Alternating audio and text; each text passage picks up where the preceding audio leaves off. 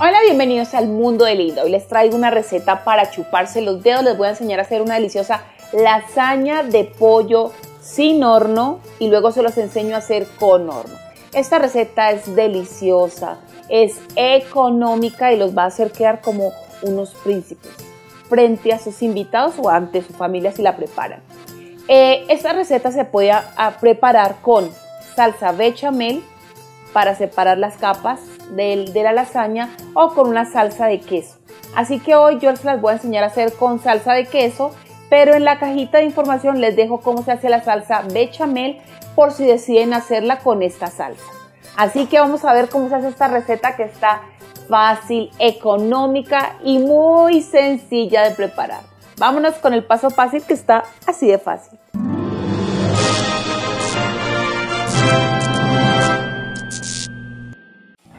En una olla con cebolla cambray cebolla larga, un diente de ajo, una cucharada sopera de sal, vamos a poner a hervir este agua. Si gustan también le pueden poner cilantro y queda espectacular.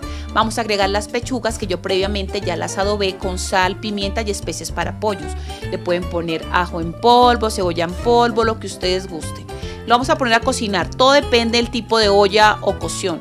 Puede ser de 30 a 35 minutos dependiendo la olla, el tamaño del pollo. ¿Cómo saber si está listo? Si lo pinchan y no sale sangre. Y una vez que sale, mire, así caliente, las cojo yo y las deshebro para que estén listas mis pechugas para la lasaña de pollo. En una sartén con mantequilla, dos dientes de ajo finamente rallados, le agrego cebollita cambray o cebolla larga. Si quieren le pueden poner también cebollita cabezona. La idea es hacer un guiso que huele delicioso. Le ponemos un poquito de sal y ahí vamos a saltear nuestros champiñones. Si a ustedes les gusta bien cocidos, poco cocidos, esto es a su gusto. Eh, yo los pongo, ya los consigue si quieren en, esas, en esas latitas donde vienen empacaditos ya listos todos o si no ustedes los pican como quieran. La idea es saltearlos, que cojan el sabor a, a las especies y el sabor que le da la mantequilla es espectacular. Una vez que ya están cocidos nuestros champiñones, vamos a apagarlo y lo vamos a dejar quietico y vamos a proceder a elaborar la flamante salsa de queso o si ustedes quieren pueden reemplazarla por salsa bechamel. ¿Qué estoy poniendo linda? Estoy poniendo crema y luego voy a agregar el queso. Ustedes pueden poner queso fresco, queso Filadelfia o mezclar dos o tres quesos. Bueno, esto es al gusto de ustedes. Si quieren le pueden poner queso azul. Bueno, le ponemos el queso y lo completamos con leche. Le ponemos sal, eh, si quieren le pueden poner ajo, cebolla en polvo. El cilantro no puede faltar porque le da un toque maravilloso a esta salsa de queso que a mí me encanta. Y lo completamos el resto de la licuadora con leche. Lo licuamos muy bien y esta salsa que estamos haciendo se la vamos a agregar a los champiñones. Se pone dentro de la olla con los champiñones, la idea es que suelta el hervor para que se incorporen los sabores y se apaga. Y con esta salsa vamos a hacer nuestra lasaña de pollo con champiñones. Si ustedes quieren pueden reemplazar esta salsa por salsa bechamel en la cajita de información. Les dejo la receta de cómo se hace. Eh, ya lo hice en otro video. Bueno, y ya con todo listo podemos proceder a armar nuestra deliciosa lasaña sin horno. Vamos, que esto es delicioso. Vamos a necesitar un molde o una olla.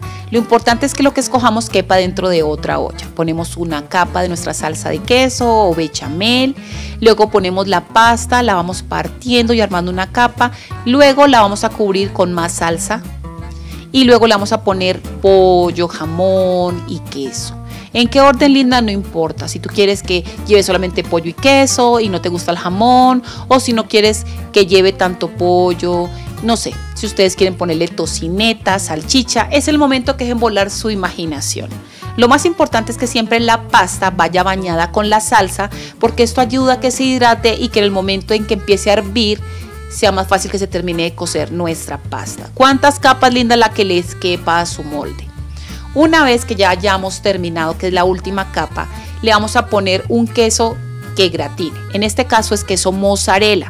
Pero como este tipo de lasaña que no va en horno es más difícil que gratine, tienen que tener en cuenta que va a quedar todo muy derretido el queso, pero no va a tener como ese, ese color caramelo que caracteriza mucho la lasaña, pero va a saber igual de deliciosa.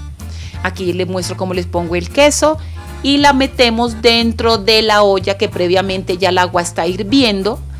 Súper importante no dejar secar el agua porque esta preparación va a baño de María. ¿Cuánto tiempo después de que la metemos? Más o menos 15, 20 minutos. La idea es que hierva nuestra preparación adentro, que se derritan los quesos y está lista para servir. Así queda la lasaña. Lo único es que no tiene el color caramelo, pero la pasta está suave, está deliciosa tiene excelente sabor. Acuérdense que la lasaña siempre tiene que quedar bajita de sal las preparaciones, o sea, las salsas blancas, porque al hervir se duplica la sal para que no vaya a quedar salada y queda riquísima. Lasaña en el horno. Vamos a necesitar una refractaria del tamaño que ustedes gusten. Vamos a poner una, una capa de salsa de queso o salsa bechamel. Y vamos a empezar a poner la pasta. La pasta generalmente ya viene precocida. Y después de cada capa de pasta tiene que ir líquido para ayudarnos que se termine de cocer en el horno.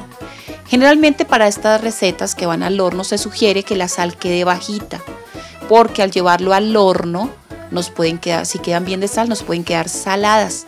Entonces si ustedes la sienten bajito de sal, está perfecto, porque al llevarlo al horno, como va a hervir y va a reducir, nos puede quedar salada. Y si utilizan jamón, como es mi caso, el jamón suelta sal y nos va a quedar súper salada la lasaña. Si a ustedes no les gusta el jamón, lo pueden cambiar por tocineta o lo pueden quitar. ¿Qué tipo de jamón? De pollo, de puerco, el que ustedes gusten, el que a ustedes más les agrade. ¿En qué orden van las capas? En el que a ustedes les gusten. Pueden poner primero el pollo, luego el queso.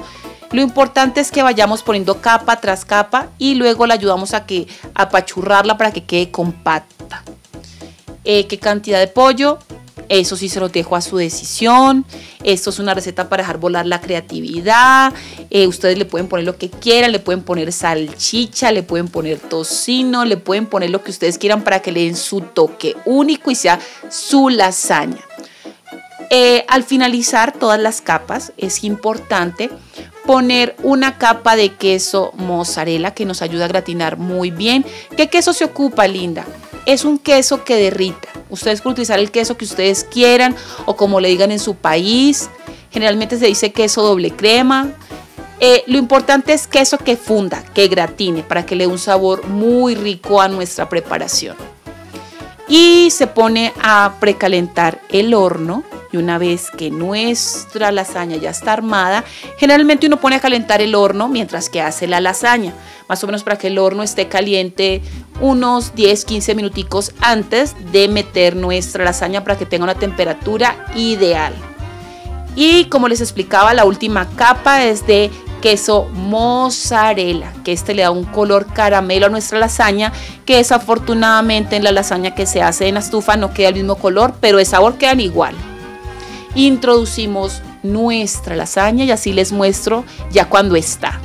El mismo tiempo nos lo va diciendo la lasaña. Acuérdense que todo ya está cocido. Simplemente la metemos es para que se unan los sabores y gratine. Y así quedó mi lasaña. Espero que se animen a prepararla porque es una receta deliciosa y es un plan familiar delicioso. Bueno, y si les gustó esta receta, ya saben, manitos arriba. Si no estás suscrito, suscríbete que es gratis. Ah, algo muy importante no se les olvide activar la campanita. Si cada vez que yo suba video, les va a llegar una notificación. Linda, ¿cuándo vas a subir videos? Voy a tratar de cumplir con videos todos los martes, jueves y sábado van a haber videos en el mundo de Linda. Eh, vengo recargada con toda la actitud para ahorita que viene Navidad. Ay, no saben lo que les tengo planeado para Navidad. Recetas dulces, saladas, postres. Bueno, y si no sabían, abrí un canal con mi esposo que se llama Intensamente Juntos y si van a verlo se van a divertir un montón porque se les ocurre cada cosa loca. Así que bueno, espero que les haya gustado este video. Les mando besos, abrazos, se los días que los quiero mucho. Bye, hasta la próxima.